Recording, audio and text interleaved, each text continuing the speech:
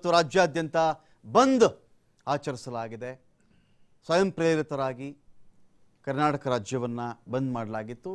ದಕ್ಷಿಣ ಕನ್ನಡ ಜಿಲ್ಲೆಯಲ್ಲಿ ಅಂತ ಸಹಕಾರ ಸಿಕ್ಕಲಿಲ್ಲ ಆದರೂ ಕೂಡ ಪರ್ಸೆಂಟ್ ವೈಸ್ ಪರ್ಸೆಂಟೇಜ್ ವೈಸ್ ಲೆಕ್ಕ ಹಾಕೊಂಡ್ರು ಕೂಡ ದೊಡ್ಡ ಸಕ್ಸಸ್ ಅಂತಲೇ ಹೇಳಬಹುದಾಗುತ್ತೆ. ಬೆಳಗ್ಗೆಯಿಂದ ಕನ್ನಡ ಪರ ಸಂಘಟನೆಗಳು, ರೈತರು ಫಿಲ್ಮ್ ಚೇಂಬರ್ ಕಲಾವಿದರು, ಎಲ್ಲರೂ ಕೂಡ ಎಲ್ಲ ಎಲ್ಲ ಬಗೆಯ ಒಂದು ಸಹಕಾರ ಕೂಡ ಇತ್ತು. ಇಲ್ಲಿ ಹೋಟೆಲ್ ಮಾಲೀಕರ ಸಹ ಸಹಕಾರ ಕೂಡ ಸಿಕ್ಕಿತ್ತು.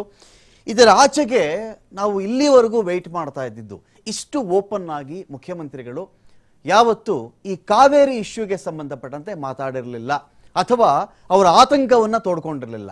ಏನು ಕಾರಣಕ್ಕೆ ಇವ್ರು ನೀರು ಬಿಡ್ತಾನೇ ಇದ್ದಾರಪ್ಪ ಇವ್ರಿಗಿರ್ತಕ್ಕಂತಹ ಅವ್ಯಕ್ತ ಭಯಗಳು, ಹೇಳಿಕೊಳ್ಳದೇ ಇರುವಂತಹ ಭಯ, ಸ್ವಲ್ಪ ಅದು ಹಾರ್ಶ್ ವರ್ಡ್ ಅಂತ ಅನ್ಸಿದ್ರೆ ಆತಂಕ ಅಂತ ಇಟ್ಕೊಳ್ಳಿ. ಅಥವಾ ಇನ್ನೂ ಸ್ವಲ್ಪ ಸಾಫ್ಟರ್ ವರ್ಷನ್ ವರ್ಡ್ ಅಂತ ಹೇಳಿದ್ರೆ ಮುಂದಾಲೋಚನೆ ಅಂತಾದರೂ ಇಟ್ಕೋಬಹುದು. ಇನ್ನೂ ಸ್ವಲ್ಪ ದೂರಕ್ಕೆ ಹೋದರೆ ದೂರಾಲೋಚನೆ. ಇದರ ಪರಿಣಾಮಗಳು ಏನೇನು ಆಗಬಹುದಾಗತ್ತೆ?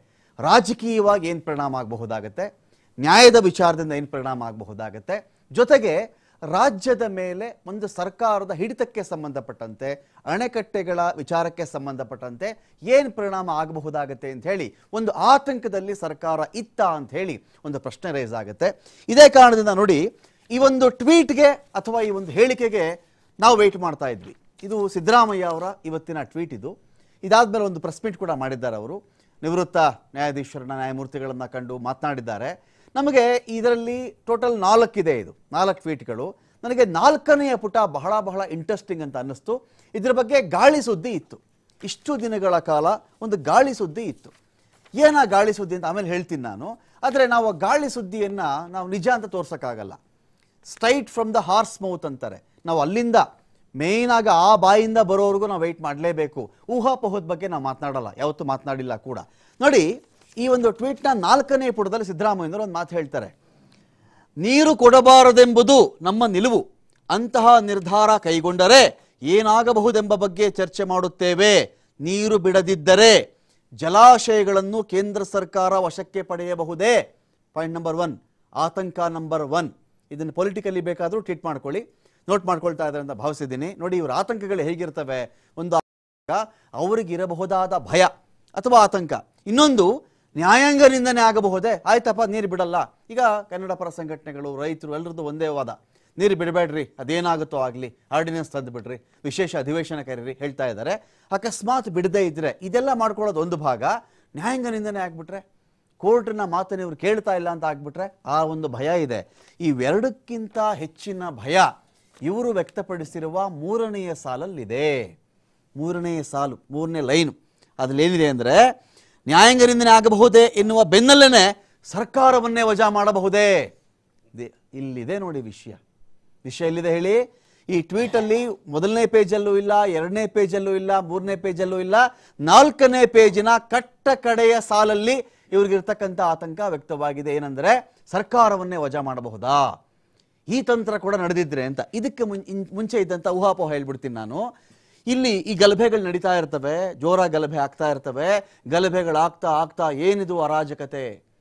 ಏನಿದು ಅರಾಜಕತೆ? ರಾಷ್ಟ್ರಪತಿ ಆಳ್ವಿಕೆ ಯಾಕೆ ಹೇರಬಾರ್ದು? ಈ ಸರ್ಕಾರವನ್ನು ಯಾಕೆ ವಜಾ ಮಾಡಬಾರ್ದು? ಅನ್ನೋ ಒಂದು ಆತಂಕ ಕೂಡ ಸರ್ಕಾರದ ವಲಯದಲ್ಲಿ ಓಡಾಡ್ತಾ ಇದ್ದಂತೆ ಅಂತ ಇತ್ತು. ನಮ್ಗೆ ಅಫಿಷಿಯಲ್ ಪ್ರೂಫ್ ಬೇಕಲ್ಲ? ಆ ಪ್ರೂಫ್ಗೆ ಐ ವಾಸ್ ವೇಟಿಂಗ್ ಫಾರ್ ಇವತ್ತು ಆ ಪ್ರೂಫ್ ಸಿಕ್ಕಿದೆ ಇಲ್ಲಿ. ಈ ವಿಚಾರಕ್ಕೆ ಸಂಬಂಧಪಟ್ಟಂತೆ ಇದೀಗ ನ್ಯಾಯಾಂಗದ ಕಥೆ ಏನು? ಅಣೆಕಟ್ಟೆಗಳ ಹೈಜಾಕ್ ಮಾಡಿಬಿಟ್ರೆ ಏನು? ಸರ್ಕಾರವನ್ನೇ ವಜಾ ಮಾಡಿಬಿಟ್ರೆ ಏನು? ಎಲ್ಲ ವಿಚಾರಕ್ಕೆ ಸಂಬಂಧಪಟ್ಟಂತೆ ಡಿಬೇಟ್ ಶುರು ಮಾಡ್ತಾ ಇದೆ. ಇದರಲ್ಲಿ ಪಾಲ್ಗೊಳ್ಳೋದಕ್ಕೆ ನಮ್ಮೊಂದಿಗೆ ಕುಮಾರಸ್ವಾಮಿ ಅವರಿದ್ದಾರೆ. ರಾಜ್ಯ ಸಲಹೆಗಾರರು ಜಯ ಕರ್ನಾಟಕ, ಜನಪರ ವೇದಿಕೆ. ಸ್ವಾಗತ ನಿಮಗೆ ಕುಮಾರಸ್ವಾಮಿ ಅವರೇ. ನಮ್ಮ ಜೊತೆಯಲ್ಲಿ ಇದೀಗ ಪಾಲನೇತ್ರ ಅವರಿದ್ದಾರೆ. ಕನ್ನಡ ಚಳವಳಿಗಾರರು, ಸ್ವಾಗತ ನಿಮಗೆ ಪಾಲನೇತ್ರ ಅವರೇ. ಉಮೇಶ್ ಬಣಕಾರ್ ಅವರಿದ್ದಾರೆ. ನಿರ್ಮಾಪಕರ ಸಂಘದ ಅಧ್ಯಕ್ಷರು. ಸ್ವಾಗತ ನಿಮಗೆ ಉಮೇಶ್ ಬಣಕಾರ್ ಅವರೇ.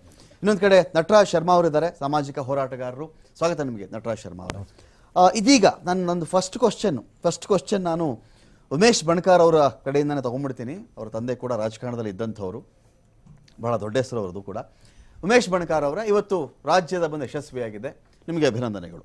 ಒಂದೊಂದು ಕರೆ ಕೊಟ್ಟು ಚಿತ್ರರಂಗ ನಾಡು, ನೆಲ, ಜಲ, ಗಡಿ, ಭಾಷೆ ಅಂತ ಬಂದಾಗ ಯಾವತ್ತಿಗೂ ನಿಂತಿತ್ತು, ಇವತ್ತು ನಿಂತಿದೆ. ಇನಿಷಿಯಲಿ ಯಾರು ಬರ್ತಾ ಇಲ್ಲ, ಯಾರು ಬರ್ತಾ ಇಲ್ಲ ಅಂತ ಮಾತಿತ್ತು. ಅದೆಲ್ಲವನ್ನು ತೊಡೆದು ಹಾಕುವ ರೀತಿಯಲ್ಲಿ ಸಪೋರ್ಟ್ ಸಿಕ್ತು ನಿಮಗೆ. ಆದರೆ ಸಿದ್ದರಾಮಯ್ಯ ಅವರ ಈ ಮೂರು ಕ್ವಶನ್ಗಳಿಗೆ ಎಲ್ಲಿಯಾದರೂ ಇವತ್ತಿನ ಬಂದು ಆನ್ಸರ್ ಕೊಡುವಲ್ಲಿ ಯಶಸ್ವಿ ಆಯ್ತಾ ಅಂತ. Big chief chief minister of Karnataka ಅವರ ಆತಂಕವನ್ನು ನೋಡಿ ಕಡೇ ಪೇಜಲ್ಲಿದೆ ಇದು. ಫೋರ್ತ್ ಅವರ ಟ್ವೀಟಲ್ಲಿ ಫೋರ್ತ್ ಒಂದೇ ಟ್ವೀಟ್ನ ನ ಮುಂದುವರೆದ ಭಾಗವಾಗಿ ನಾಲ್ಕರಲ್ಲಿ ಬರುತ್ತೆ. ಸರ್ಕಾರವನ್ನು ವಜಾ ಮಾಡಬಹುದೇ? ನ್ಯಾಯಾಂಗ ನಿಂದನೆ ಆಗಬಹುದೇ? ಅಣೆಕಟ್ಟೆಗಳನ್ನೇ ಹೈಜಾಕ್ ಮಾಡಬಹುದೇ? ಈ ಆತಂಕಗಳನ್ನು ಅವರು ಟ್ವೀಟ್ ಮಾಡಾದ ನಂತರ ಇಂದು ಸಂಜೆ ಅಂದ್ರೆ ಈಗ ಕೆಲವೇ ಗಂಟೆಗಳ. ಕೆಳಗಡೆ ಅವರು ಪ್ರೆಸ್ ಮೀಟ್ ಮಾಡಿದ್ದಾರೆ. ಆ ಆತಂಕಗಳ ನಿವಾರಣೆಯನ್ನ ಬೆಳಗ್ಗೆ ಏನು ಅವರು ಟ್ವಿಟ್ ಮೂಲಕ ಹೊರಬಿಟ್ಟಿದ್ರು.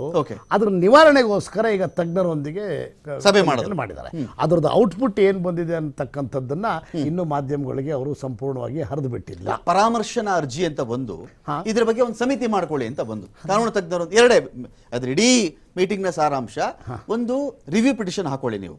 ಸುಪ್ರೀಂ ಕೋರ್ಟ್ ಸಲಹೆ ಬಂದಿದೆ. ಒಂದು ಸಮಿತಿ ರಚನೆ ಮಾಡ್ಕೊಳ್ಳಿ. ತಜ್ಞರಿಂದ ಒಂದು ಸಮಿತಿ ರಚನೆ ಮಾಡ್ಕೊಳ್ಳಿ ಅಂತ ಹೇಳಿ ಒಂದು ಸಲಹೆ ಅವರಿಗೆ ಬಂದಿರತಕ್ಕಂಥದ್ದು. ಹೌದು. ಸರ್ ಇಲ್ಲ ಅದೇ ನಾನು ಹೇಳಿದ್ನಲ್ಲ. ಅದು ಟ್ವಿಟ್ ಮಾಡೋಗಿದ್ದಂತ ಆತಂಕ ಇವಾಗ ಇದೆಯೋ ಇಲ್ವೋ ಇವತ್ತಿನ ಈಗಿನ ಮನಸ್ಥಿತಿನಲ್ಲಿ ಏನಾಗಿದೆ ಅನ್ನೋದ್ರ ಬಗ್ಗೆ ಮಾಹಿತಿ ಇಲ್ಲ.